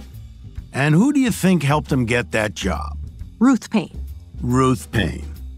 There are so many pieces to this picture. And 60 years later, pieces are still falling into place. Tune in to the new podcast, Stories from the Village of Nothing Much, like easy listening, but for fiction. If you've overdosed on bad news, we invite you into a world where the glimmers of goodness in everyday life are all around you. I'm Kathryn Nicolai, and you might know me from the bedtime story podcast, Nothing Much Happens. I'm an architect of cozy, and I invite you to come spend some time where everyone is welcome and kindness is the default. When you tune in, you'll hear stories about bakeries and walks in the woods, a favorite booth at the diner on a blustery autumn day, cats and dogs and rescued goats and donkeys, old houses, bookshops, beaches where kites fly and pretty stones are found. I have so many stories to tell you, and they are all designed to help you feel good and feel connected to what is good in the world. Listen, relax, enjoy. Listen to stories from the Village of Nothing Much on the iHeartRadio app, Apple Podcasts, or wherever you get your podcasts. The world is so much weirder than you think. If you want to find out why, join us on the science podcast, Stuff to Blow Your Mind. Want to hear about how horses evolved to gallop entirely on their middle fingers and why some drawings show Julius Caesar's horse with human feet? Or maybe about how some of the earliest experiments creating a vacuum in the lab were conducted by a guy who had the Batman symbol for a mustache. Fans of the show tell us they like the vibe. We try to keep things cozy, relaxed, and open minded, but driven by curiosity and grounded in a skeptical and scientific perspective. On Stuff to Blow Your Mind, you'll hear everything from the story of how a 19th century inventor created a sort of modified pipe organ that could speak English through a doll's head, to why mud dauber nests are stuffed like a filled pastry full of paralyzed spiders. Explore topics scientific, historical, philosophical, and sometimes monstrous on Stuff to Blow Your Mind. Listen to Stuff to Blow Your Mind on the iHeartRadio app, Apple Podcasts, or wherever you get your podcasts. What up, y'all? This is Prop. I host a podcast called Hood Politics with Prop. I am a firm believer that if you grew up in some sort of struggle or inner city in America, you understand politics more than you think you do. It's just not been translated in the language that you speak. I am here to translate it for you. For example, you know what a filibuster is? Yeah, you do. Because if you got a mama that don't play no games, you've been filibustering your whole life. Hey, mom, no, look, listen, listen, listen, mom. Before you make your decision, what had happened was when I came home, you know, I was with Joe. You remember Joe from church, his mama in the prayer group with you. You remember Joe. So I, I came, I took the chicken out, like you said. I remember I took the because you said take the chicken out. I had, you remember I, had, I got an A on that on that math test? You remember when I got that A? So I was gonna take that out and then work on you filibustering. You're just trying to stop her from making an immediate decision. That's all filibustering is. And the Congress do it all the time. See what I'm saying? You already know this stuff. So we take these seemingly complex, high ideas and break them down in a way that you and me actually talk. So listen to Hood Politics with Prop on the iHeartRadio app, Apple Podcasts, or wherever you get your podcasts. So, Rob, where do you go from here? Nearly 5,000 records remain withheld. Do you think that in those records is one piece of evidence that details the whole plot? Well, I don't. I really I don't. The CIA most likely destroyed anything that would be obviously groundbreaking decades ago. So then what you're both saying is that in all the remaining records there's no smoking gun. I don't think there's anything left that would be considered a smoking gun the way we think of it. The closest thing we have to a smoking gun is a document that the Pentagon kept secret for almost 40 years. This document outlined a plan called Operation Northwoods. The Joint Chiefs of Staff drafted Operation Northwoods in 1962. It remained a secret until decades later when it was quietly declassified in compliance with the JFK Records Act. But even after the document was declassified, the plan didn't reach the public until 2001, when the investigative reporter, James Bamford, revealed the full details in his book, Body of Secrets. He calls Operation Northwoods, quote, what may be the most corrupt plan ever created by the U.S. government. Here's Jefferson Morley. Operation Northwoods is one of the most significant revelations about the JFK assassination to come out in the last 25 years. Operation Northwoods posed this question What if something were to happen that would convince the American public that the U.S. had to invade Cuba? Something that would force America's hand. We'll stage a violent incident on a prominent target in the United States, and we'll arrange for it to look like Castro did it. Northwoods was what people in the intelligence business call a pretext operation, where you create a pretext for an action, or sometimes called a false flag operation. When you hear the terms false flag or conspiracy theory, you think of people wearing tinfoil hats. But the U.S. government has had a history of false flag operations. In 1898, the sinking of the USS Maine got us into the Spanish American War. The USS Maine was a U.S. battleship that mysteriously exploded in Havana, Cuba in 1898. Remember the Maine was the famous rallying cry after the press claimed that Spain was to blame for the explosion, which killed 268 sailors. When the government declared war on Spain, they had the overwhelming support from the American public. And that's how the Spanish American War started. There was also the firing on U.S. ships in the Gulf of Tonkin in August of 1964, which got us into the Vietnam War. And in 2003, the assertion that Iraq had weapons of mass destruction was used to justify the invasion of Iraq. False flags and disinformation can be very effective tools to rally public support. This is in the actual Operation Northwoods document. Here's what it says the Joint Chiefs of Staff have considered the attached memorandum for the pretexts which would provide justification for U.S. military intervention in Cuba. The Northwoods plans were very detailed. We'll fake the hijacking of a plane, and we'll take the plane somewhere and we'll say that Castro did it. Understand, people who would die on that plane would be American citizens. This phrase is actually written into the Northwoods plan. Quote, casualty lists in the U.S. newspapers would cause a helpful wave of national indignation. Basically, killing American citizens. That's astounding. A hijacked plane wasn't the only option. Operation Northwoods lists 11 other ideas for, quote, well coordinated incidents that would look credible, including sinking ships and burning aircrafts. Uh, there's one more part that I'd like you to read. Okay, here's what it says.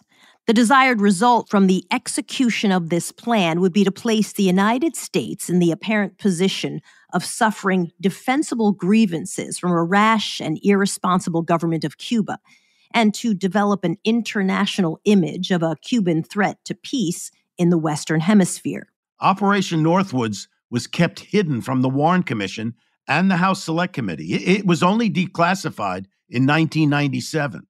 Did Kennedy know about Operation Northwoods? Kennedy knew about it. What was Kennedy's response? He rejected it in, in pretty brusque, almost rude terms.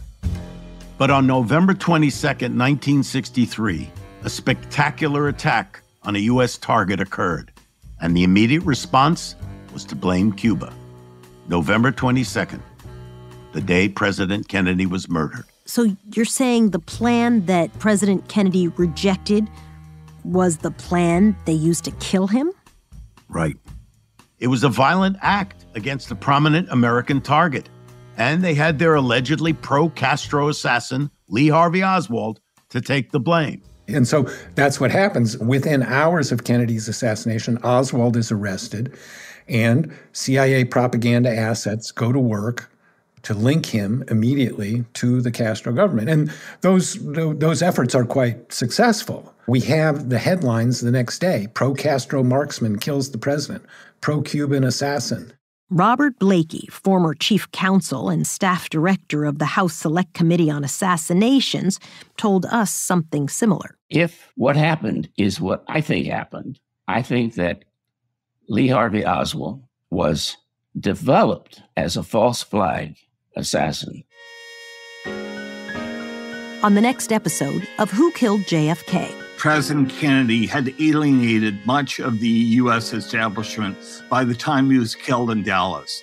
We look directly at our three main suspects. That Miami CIA field office is more or less the puppeteers of this whole operation. I asked my mom, Where's Papa? And she said, He's in Dallas on business. I'm telling you, there's no way in hell that it could not have been a conspiracy. Who Killed JFK is hosted by Rob Reiner and me, Soledad O'Brien. And our executive producers are Rob Reiner, Michelle Reiner, Matt George, Jason English, David Hoffman, and me, Soledad O'Brien. Our writer is David Hoffman, with research by Dick Russell. Our story editors are Rob Reiner and Julie Pinheiro. Our senior producer is Julie Pinheiro. Our producers are Tristan Nash, Dick Russell, Michelle Goldfine, and Amari Lee. Our editors are Tristan Nash, Julie Pinheiro, and Marcus DeLauro. Our project manager is Carol Klein. Our associate producer is Emilce Quiros. Mixing, mastering, and sound design by Ben Lahoulier.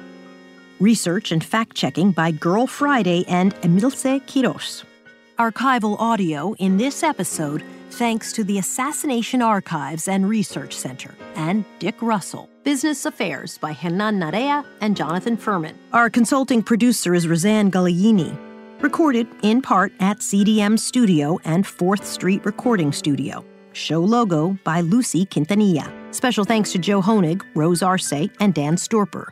If you're enjoying the show, leave us a rating and review on your favorite podcast platform. Who Killed JFK is a production of Soledad O'Brien Productions and iHeart Podcasts.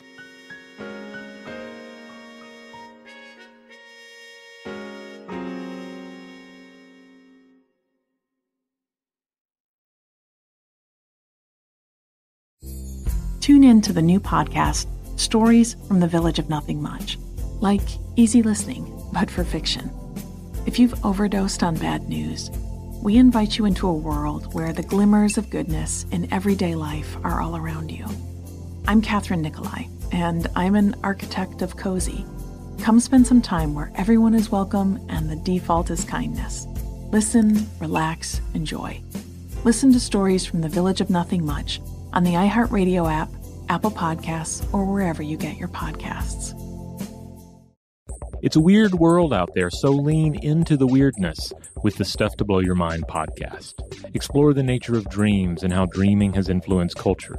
Appreciate the deep strangeness of terrestrial biology, as well as purely imagined creatures that reveal much about human nature.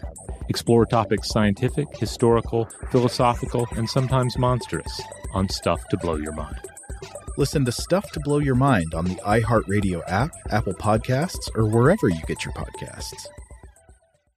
Hey, this is Prop from the Hood Politics with Prop Podcast. And this is what we do here. We take all these highfalutin political ideas and things in the news and explain it to you in a language that we all speak in. Just like, I don't know, take filibustering. Believe it or not, you already know what that is. Because if you got a mama that don't play no games, You've been filibustering your whole life. Hey, mom, no, look, listen, listen, listen, mom. Before you make your decision, what had happened was everything said after that is a filibuster. You're just trying to stall her out to avoid the inevitable. Congress do it all the time. See, you already knew. So listen to Hood Politics with Prop on the iHeartRadio app, Apple Podcasts, or wherever you get your podcasts.